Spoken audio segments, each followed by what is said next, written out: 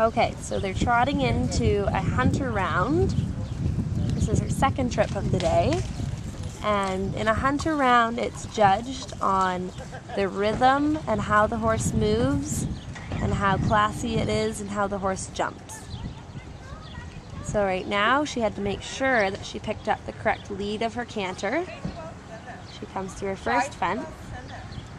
And she has to take off from the correct distance order to keep the rhythm and keep the whole course flowing. The thing is, you don't want to go too fast and you don't want to go too slow. So right now she's great rhythm. In between the two fences like this, it's called a line, and they have a certain amount of strides that they have to get. And in the ends of the corner, in the ends of the ring, they have to make sure they use their corners and they go nice and deep. So again, she had to get the correct number of strides in there, which she did.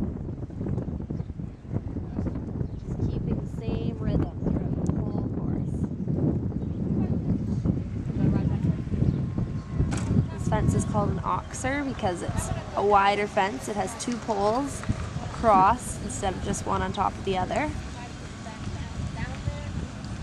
She's coming down to her last line. Comes in one, two, three, four, five. She got the right number of strides in there. And now at the end, she'll circle and come back to a trot. And on her way out.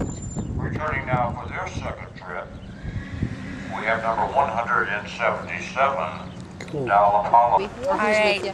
I am Joelle Charbonneau. This is a horse that I'm grooming today. His name is RJ, and he's 17. He's an old guy.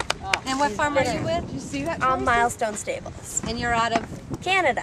Thank you so Canada, much. near Toronto. Thank you so much. Welcome.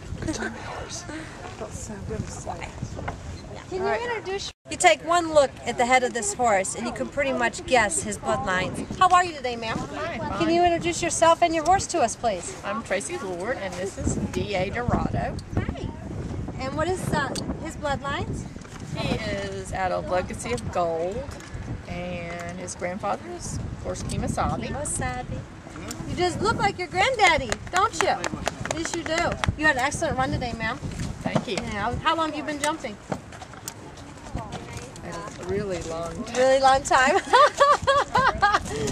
well, 30 years, 30 maybe. years. Well, that's just great. Well, I, I think you did an awesome job today. I'm new to the sport horse side of the industry, and I thank all of you that are here today that have been very forthcoming and giving myself and my cameraman information about what you guys are all out here doing. And I wish you the best of luck, and I hope to see you. you at future shows this year. You'll see us somewhere. We show up pretty much everywhere. Pretty much everywhere. Well, thank you, and you're just absolutely beautiful. You keep up the good work. Oh, you can pet me all day. All day long.